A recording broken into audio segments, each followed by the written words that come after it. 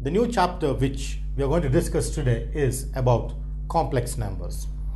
We have discussed randomly about the complex numbers in the number system as we have seen that there were different set of numbers which have come initially with the natural numbers and then the whole numbers and then the integers and then the rational numbers and then the real numbers and finally with the complex numbers. So when it comes to complex numbers, we have identified that they are the highest numbers or all the numbers which you are discussing here are included in complex numbers. So these are the complex numbers which are derived from n, w, z, q, r and complex numbers generally denoted with the symbol Roman symbol C. Now what do you mean by complex numbers? How do we define the complex numbers is the biggest question because we have been discussing about the quadratic equation for example has real roots which are real, and equal roots if delta is equal to 0 and real and unequal roots if delta is greater than 0 and imaginary or complex roots if delta is less than 0. So what are the imaginary or complex roots? What makes us understand the difference between real and complex roots is the biggest question. So let me start with an example problem. Say, for example, I have x squared minus 4 equal to 0. Then in this case, it is possible that I can find the real roots because if I want to find the roots of this, immediately I have x squared equal to 4 and x is plus or minus root 4 which is 2. Therefore, the real roots are 2 and minus 2. But if I take an example problem where my quadratic equation is x squared plus 1 equal to 0 and I want to solve this, I cannot find the real roots. And let's see why I cannot find the real roots for this, but I can find the real roots for this.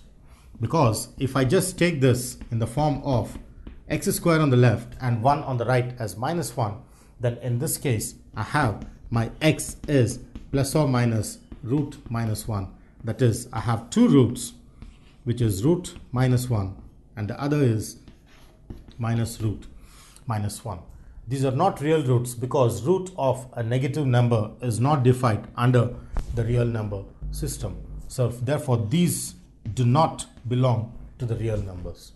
Square root of a negative number is not a real number. Therefore, these two roots which exist for this equation are called complex type of roots. So, when the square root of a negative number comes into existence, we call the roots as complex roots. Therefore, we generally denote them with i because root minus 1 is denoted with i and then each of the complex numbers are generated from i which we're going to see in brief on how each of them generates with i. But finally, these are the real roots, these are the complex roots. And hence, it is very important because there are many equations of such type in mathematics and in the world of mathematics, and therefore, finding the roots which are complex are also equally important for a given polynomial. Therefore, we try to stress on understanding the various properties involved with complex numbers and hence the whole world of complex numbers is created in this chapter and its different properties are studied individually in a stepwise process. Now let's define the complex numbers in a more mathematical definition. So if I take a complex number, I say that if x is a complex number, that is if x belongs to C, that implies I write x in the form of ordered pair AB or in the form of A plus IB which we denote for this. This is how a complex number is written where the rule is that A and B are real numbers in the given system. And of course, I is root of negative 1 is how we understand the complex numbers. So this is called the ordered pair. So using this definition of a complex number, I define set of complex numbers in the following manner.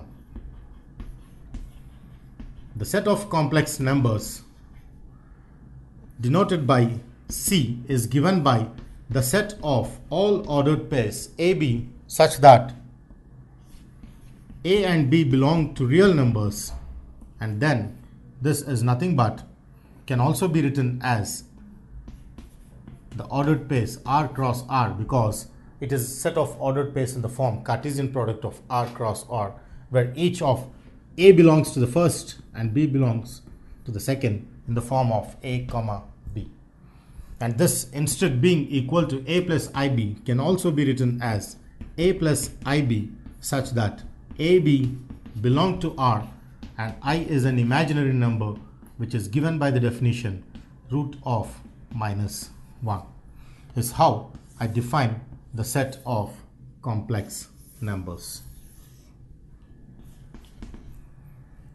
So therefore, for example, if I write 5 plus root minus 1 or 3 minus 7 root minus 1 are types of complex numbers because root minus 1 is i therefore I can write them as 5 plus i or 3 minus 7i where a and b are real numbers and 3 and minus 7 are real numbers. Therefore, they are written in the form of a plus ib. Therefore, they are complex numbers. So, the complex numbers are generally denoted by a plus ib. So, these are all examples of complex numbers. This is a complex number and this is also a complex number. Now, the question comes here is 11 a complex number? because I say this is real number because 11 is clearly an integer and hence a real number. But my question is, is this, can this 11 be represented in the complex form? In order that I want to represent 11 in a complex number, I should be able to write in the form a plus ib or in the ordered pair a and b where a and b are real numbers. So therefore, let's see if I can represent. Now as I see the number 11, I can write this as 11 plus i times of 0 because 11 plus 0 is again 11. So this can equally be written as 11 plus i times of 0 where this is a and this is b both are real numbers. Therefore this 11 is a complex number based on a plus ib where a and b are real numbers and i is root of minus 1 is how we understand the complex numbers. And there's an important note I make out here that complex numbers are generally denoted by Z. If I say Z, Z implies AB or A plus IB is how we understand the complex number Z. So with each of the definition and this belongs to C, we try to construct various properties of complex numbers.